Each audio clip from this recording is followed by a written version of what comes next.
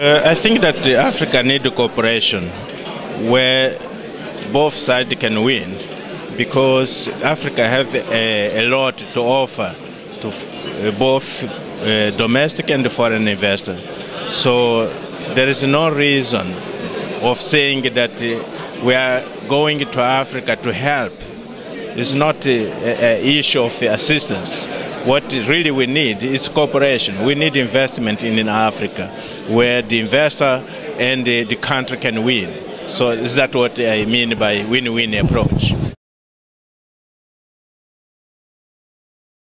Uh, Mozambique is, uh, is potential in uh, natural resources. Uh, for example, we have a, a potential uh, more than 6,000 megawatts uh, of energy. So we can build dams for energy that can serve both Mozambique and the region country.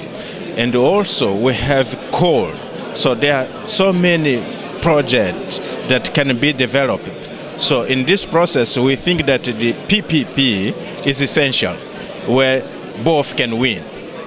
Thank you very much. Thank you.